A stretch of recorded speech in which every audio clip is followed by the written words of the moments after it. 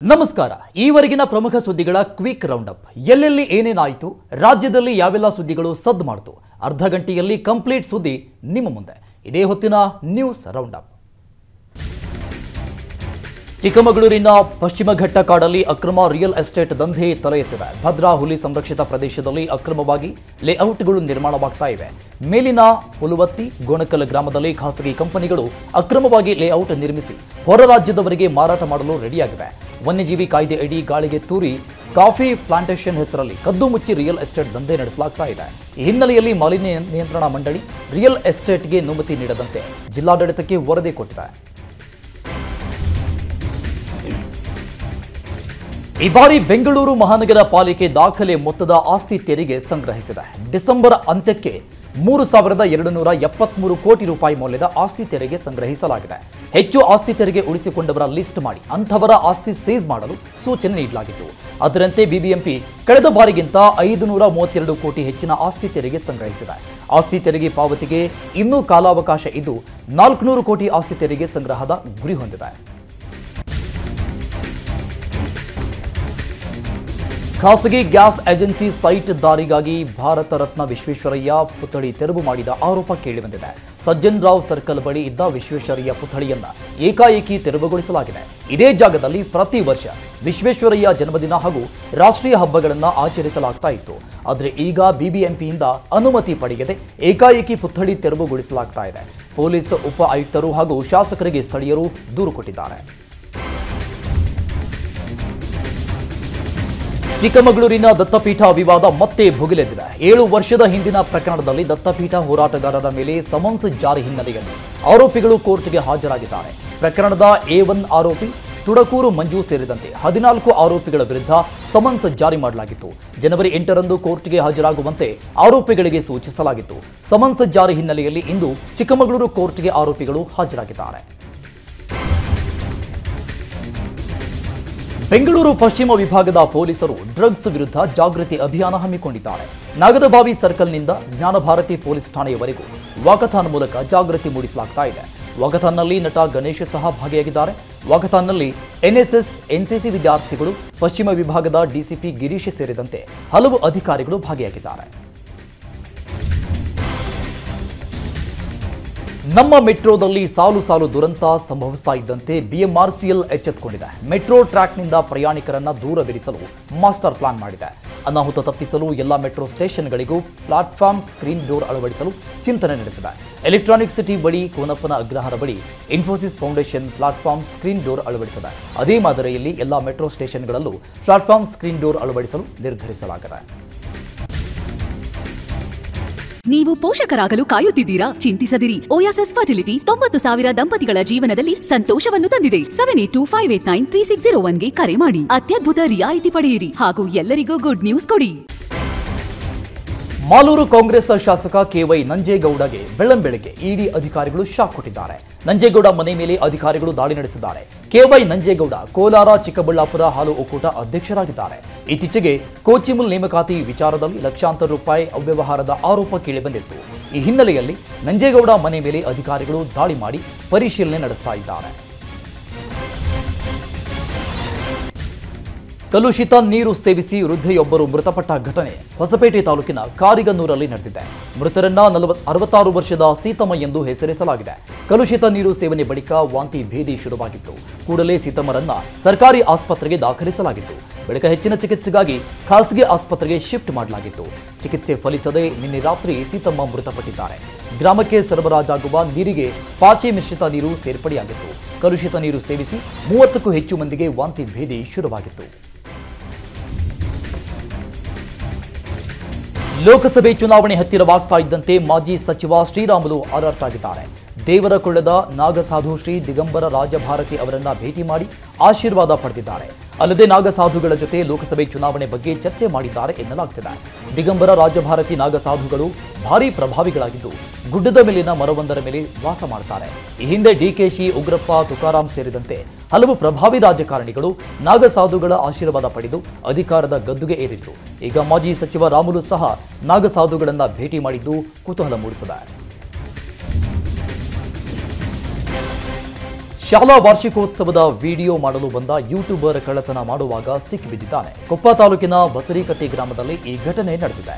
ಸದ್ಗುರು ಪ್ರಾಥಮಿಕ ಶಾಲೆಯಲ್ಲಿ ಶಾಲಾ ವಾರ್ಷಿಕೋತ್ಸವ ಸಮಾರಂಭ ಇತ್ತು. ಸಮಾರಂಭ ಮುಗಿಸಿದ ಬಳಿಕವೂ ಯೂಟ್ಯೂಬರ್ ಶರತ್ ಶಾಲೆ ಬಳಿಯೇ ಓಡಾಡ್ತಾ ಇದ್ದ. ಬಳಿಕ ಮುಖ್ಯ ಶಿಕ್ಷಕರ ಕೊಠಡಿ ಬಾಗಿಲು ಒಡೆದು ಕಳ್ಳತನಕ್ಕೆ ಯತ್ನಿಸಿದ. ಈ ವೇಳೆ ಶಾಲಾ ಸಿಬ್ಬಂದಿ ಶರತ್ನನ್ನ ರೆಡ್ ಹ್ಯಾಂಡ್ ಆಗಿ ಹಿಡಿದು ಪೊಲೀಸರ ವಶಕ್ಕೆ ನೀಡಿದ್ದಾರೆ. ಜೈಪುರ ಪೊಲೀಸ್ ಠಾಣೆಯಲ್ಲಿ ಪ್ರಕರಣ ದಾಖಲಾಗಿದೆ. ಜನವರಿ ಇಪ್ಪತ್ತೆರಡರಂದು ಅಯೋಧ್ಯೆಯಲ್ಲಿ ರಾಮ ಮಂದಿರ ಉದ್ಘಾಟನೆ ನಡೆಯಲಿದೆ. ಇದರ ಅಂಗವಾಗಿ ರಾಜ್ಯದೆಲ್ಲೆಡೆ ಬಿಜೆಪಿ ವತಿಯಿಂದ ಮಂತ್ರಾಕ್ಷತೆ ವಿತರಣೆ ನಡೀತಾ ಇದೆ. ತೀರ್ಥಹಳ್ಳಿಯಲ್ಲಿ ವಿಭಿನ್ನವಾಗಿ ಮಂತ್ರಾಕ್ಷತ ಅಭಿಯಾನ ಹಮ್ಮಿಕೊಳ್ಳಲಾಗಿದೆ. ರಾಮ, ಸೀತೆ, ಲಕ್ಷ್ಮಣ ವೇಷಧಾರಿಗಳು ಮಂಗಳ ವಾದ್ಯದೊಂದಿಗೆ ಮನೆ ಮನೆಗೆ ತೆರಳಿ ಆಮಂತ್ರಣ ಪತ್ರಿಕೆ ಮಂತ್ರಾಕ್ಷತೆ ನೀಡಿದ್ದು ಜನರ ಗಮನ ಸೆಳೀತಾ ಇದೆ.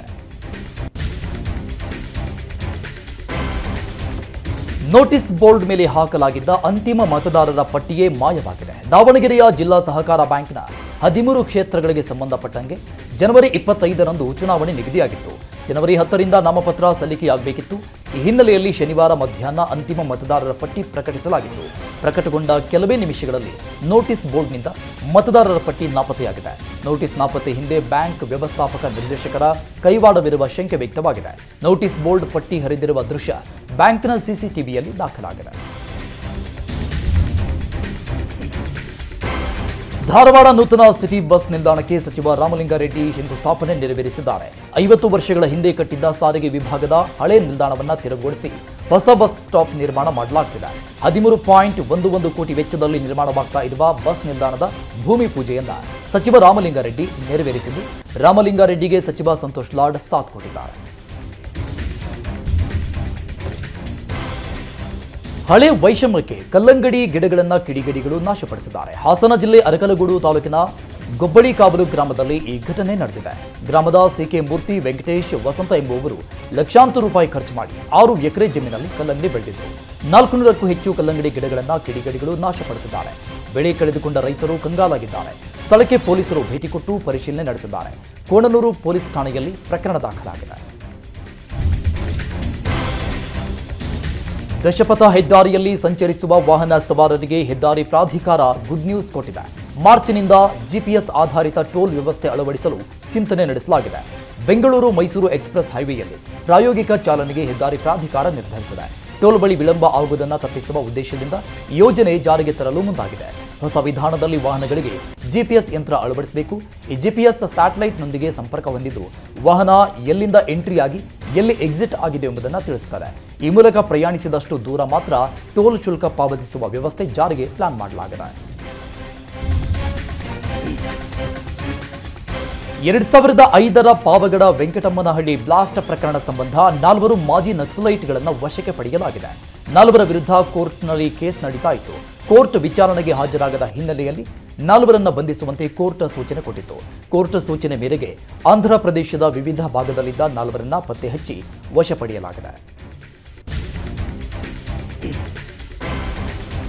ಸಾಮಾನ್ಯವಾಗಿ ಯುವಕರು ಸೈಕ್ಲಿಂಗ್ ಹೋಗೋದು, ಬೈಕ್ ರೈಡ್ ಹೋಗೋದು ನೋಡಿರ್ತೀರಿ. ಆದರೆ ಹಿರಿಯ ನಾಗರಿಕರು ಕನ್ಯಾಕುಮಾರಿಯಿಂದ ಪುಣೆವರೆಗೆ ಸೈಕಲ್ ಪ್ರಯಾಣ ನಡೆಸಿದ್ದಾರೆ. ಈ ತಂಡ ನಿತ್ಯ ನೂರರಿಂದ ನೂರ ಮೂವತ್ತು ಕಿಲೋಮೀಟರ್ ಸೈಕಲ್ನಲ್ಲೇ ಪ್ರಯಾಣ ಮಾಡ್ತಾ ಇತ್ತು. ಮಾರ್ಗ ಮಧ್ಯೆ ಗ್ರಾಮಗಳಲ್ಲಿ ಆರೋಗ್ಯದ ಬಗ್ಗೆ ಜಾಗೃತಿ ಮೂಡಿಸ್ತಾ ಇದ್ದಾರೆ. ಈ ತಂಡದಲ್ಲಿ ಎಪ್ಪತ್ತು ವರ್ಷ ಮೇಲ್ಪಟ್ಟವರು, ಮಹಿಳೆಯರು ಇದ್ದು ಡಿಸೆಂಬರ್ ಇಪ್ಪತ್ತೇಳರಿಂದ ಸೈಕಲ್ ಪ್ರಯಾಣ ಆರಂಭಿಸಿದ್ದಾರೆ. ಜನವರಿ ಹತ್ತರಂದು ಸೈಕಲ್ ಜಾಥಾ ಪುಣೆ ತಲುಪಲಿದೆ.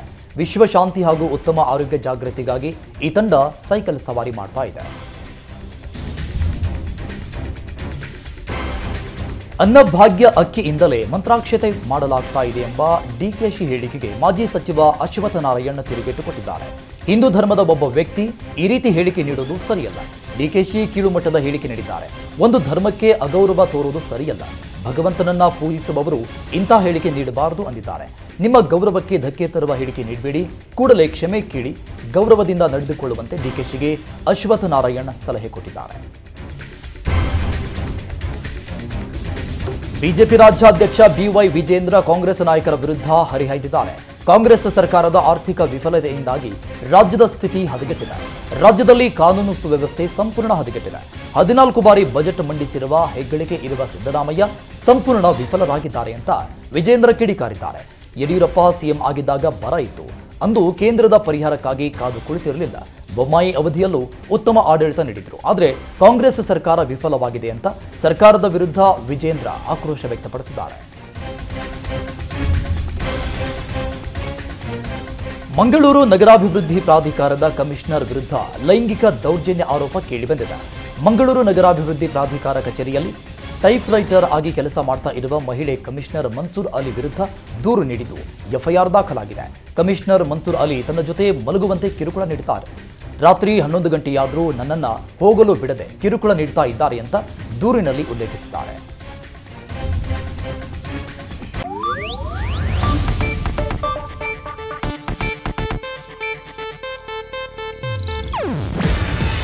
ಇದು ಏಷ್ಯಾನೆಟ್ ನ್ಯೂಸ್ ನೆಟ್ವರ್ಕ್ ಪ್ರಸ್ತುತಿ. ನೀವು ನೋಡ್ತಿದ್ದೀರಾ ಏಷ್ಯಾ ನೆಟ್ ಸುವರ್ಣ ನ್ಯೂಸ್.